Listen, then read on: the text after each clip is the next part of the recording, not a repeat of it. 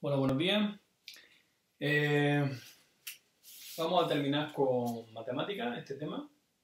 Luego haremos algún ejercicio de repaso.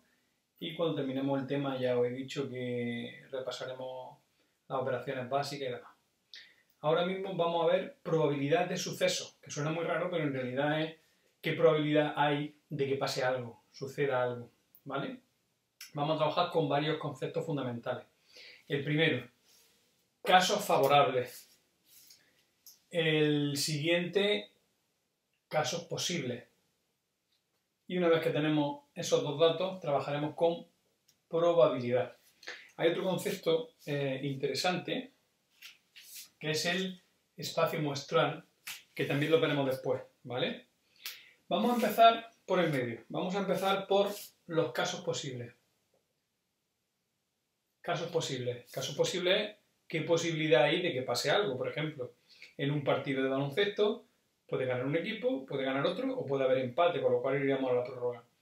Eh, pero vamos a ver el caso típico de probabilidad. Si yo tengo un dado, en este caso, de 6 caras, aquí tengo un 1, aquí tengo un 2, aquí tengo un 3. Cuando yo tiro ese dado, ¿qué casos posibles podemos tener?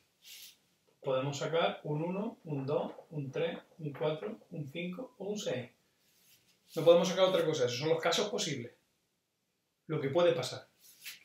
Entonces, ¿qué son los casos favorables? Lo que pasa, llegado el, el caso. Entonces, por ejemplo, si seguimos con el dado, ¿qué serían los casos favorables? El resultado cuando tiro el dado. Si yo tiro el dado y me sale un 1, el caso favorable sería un 1. Si me sale un 5, el caso favorable sería un 5. ¿Vale? Y esos son los casos favorables, lo que sucede de verdad. ¿De acuerdo? Entonces, ¿qué probabilidad? ¿Qué es la probabilidad? ¿Qué probabilidad hay de que ocurra algo? Pues si seguimos en el ejemplo del dado, puede salir cualquiera de estos, ¿vale? Pero ha salido un 1. ¿Qué probabilidad había de que saliera un 1? Pues muy fácil. Bueno, un 1 o un 2 o un 3. ¿Qué probabilidad hay? Solamente puede salir una cara, ¿no? Había una probabilidad entre cuántos casos posibles? Entre 6. Con lo cual, si hacemos esa división,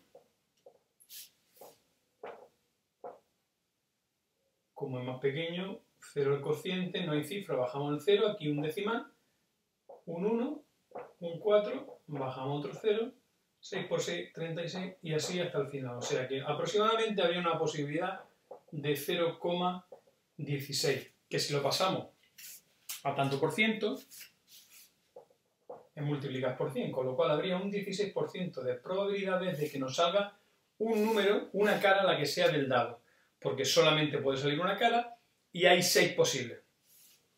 Eso sería la probabilidad, ¿vale? Repasamos. Casos posibles. Lo que puede salir. En este caso hay seis posibilidades. Casos favorables. Lo que sale. En este caso, una posibilidad. Probabilidad. Dividir los casos favorables entre los casos posibles. ¿De acuerdo? Caso favorable, una cara. Casos posibles, seis. Pero ¿y si en lugar de probabilidad de salir un número pusiéramos, por ejemplo, los números pares o los números impares, uno de dos. Vale, pues fácil. ¿Cuántos números pares o impares tiene un dado? Bueno, vamos a ver los impares. Los impares tendríamos el 1, el 3 y el 5. ¿De acuerdo? Y pares el 2, el 4 y el 6. ¿Cuántos números impares entonces hay en el dado? Tres. ¿Qué probabilidad entonces los casos favorables serían tres, porque son números impares? Eh, ¿Sobre cuántos casos posibles? Sobre seis caras que tiene el dado. 3 entre 6, que es 0,5, que es lo mismo que el 50%. Con lo cual hay, una, hay 50% de probabilidades de que me salga un número par o como impar ahí lo mismo, 3, impar. ¿Qué quiere decir esto? Que cada vez que lanzo el dado hay un 50% de probabilidad de que me salga uno u otro, ¿vale? Una vez que sabemos todo esto, ¿qué es el espacio muestral? El espacio muestral son todos los casos posibles. Con lo cual, el espacio muestral del dado sería 1, 2, 3, 4, 5 y 6.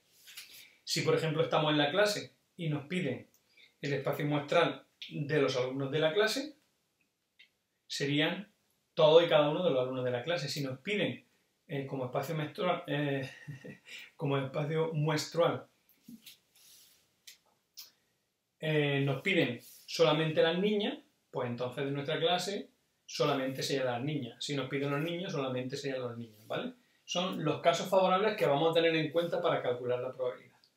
Y eso es todo. Esto es probabilidad de sucesos.